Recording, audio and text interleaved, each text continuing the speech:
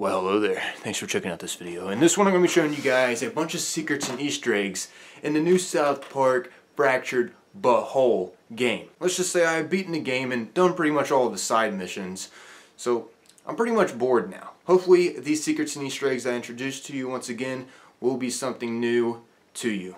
Maybe you end up passing these up or missing them going through, or hey, maybe you're just a casual player and you still haven't beaten the game quite yet and you just want to know the secrets and Easter eggs.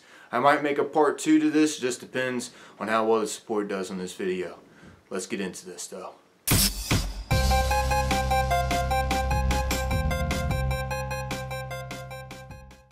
Before I get into this, I just want to let you guys know I am doing a giveaway currently of a brand new console that'll be ending before December. The winner will get to choose from a Nintendo Switch, an Xbox One, or a PS4, but of course the winner can only choose one. It'll basically be like an early Christmas present or whatever you celebrate. And by the way, these people that you're seeing currently unbox consoles are my previous giveaway winners. I had asked if they could record themselves when they received it in the mail to show off their reactions, and of course so I could show you guys proof that my giveaways are legitimate. And well, as you can see they did.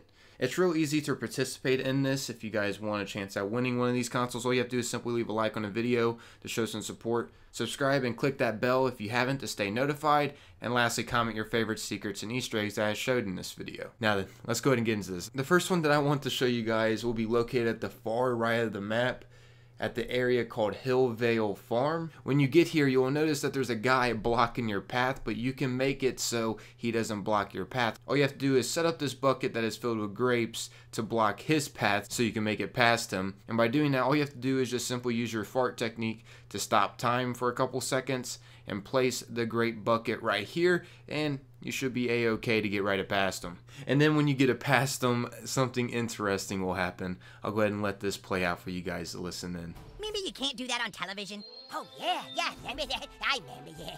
Oh, I remember, I loved it. Remember when Canada was like an old school RPG? Sure, I remember that.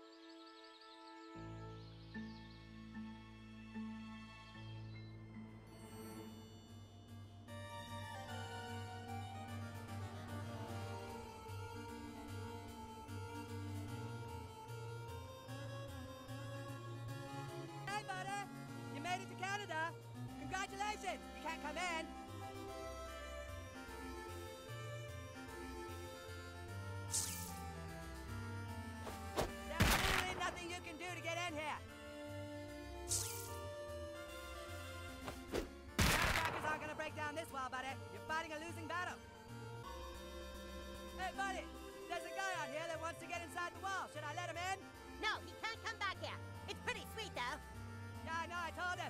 Super cool back there. Did you tell him how cool it is back here? Yeah, I said it's super cool. Tell him how it's way more awesome in here than it is out there. You hear that, buddy? It's so awesome in here, you're really missing out. He's really missing out. Yeah, I know, I just said he's missing out. Oh, you said that already? Yeah, I said that, guy. Oh, Oh, good. Carry on, buddy. you too, Gwen.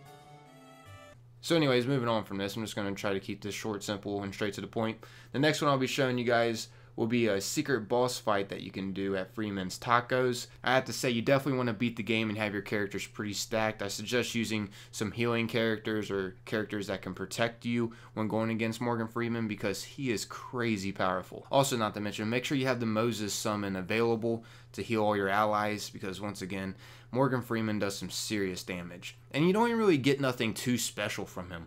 I mean, you do get an achievement from beating him, but other than that, nothing really. I mean, as you can see here, this was my rewards for beating him.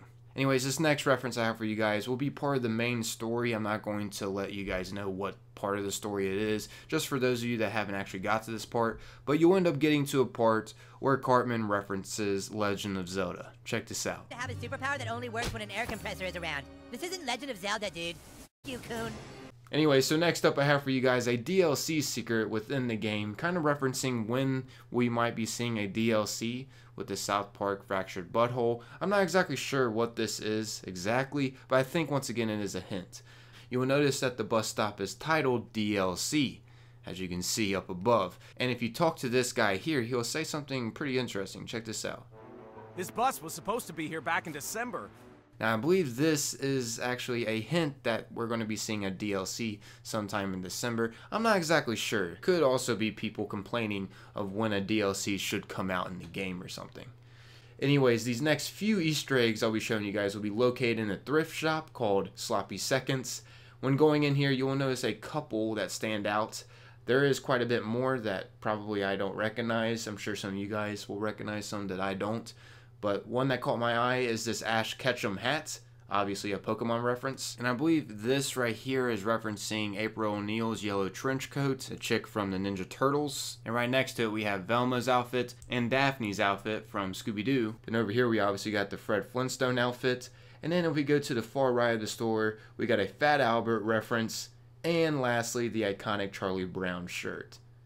So yeah, there's quite a bit inside the thrift shop. I'm sure you guys could probably find more in here, but these were a few that caught my eye and stood out. Anyways, next secret I wanted to show you guys will be located inside Kyle's house.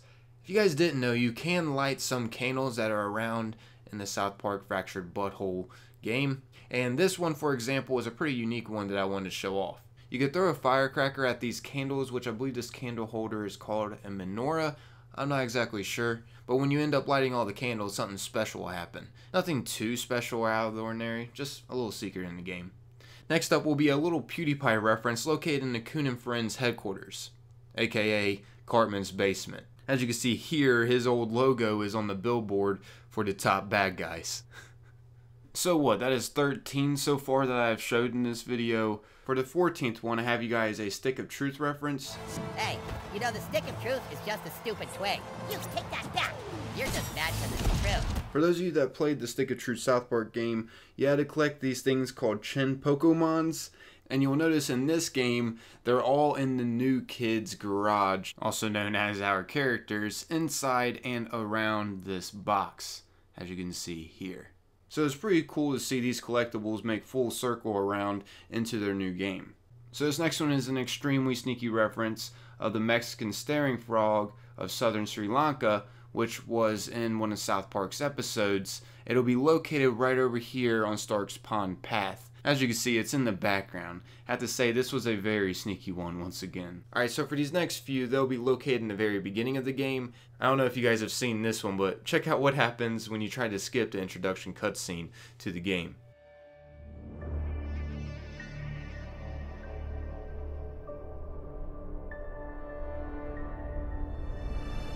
What has become of this city?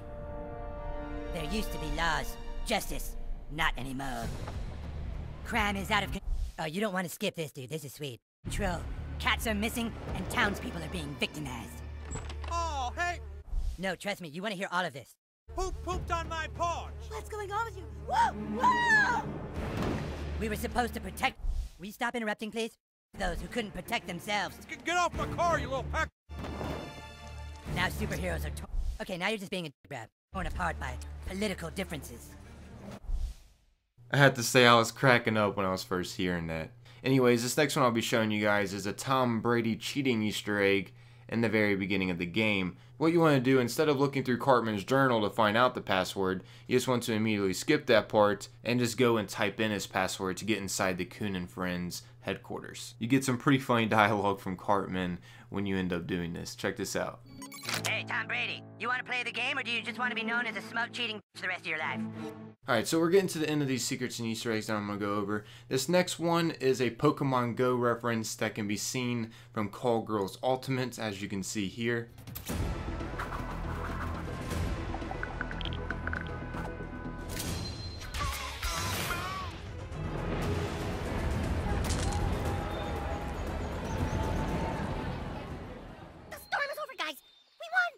As you guys may know, when Pokemon Go first released, everybody was just stampeding everywhere with their faces and their phones. I believe some even got hit by cars and whatnot. I mean, it was just crazy when it first released. The next one I'll be showing you guys will be located at the Photo Dojo. And in here, if you go to the far wall, you will notice that there's a bunch of pictures on this wall. And these are actual pictures from real South Park episodes. I thought this was pretty creative that they decided to take real episodes from their series and add it into the game as pictures inside here.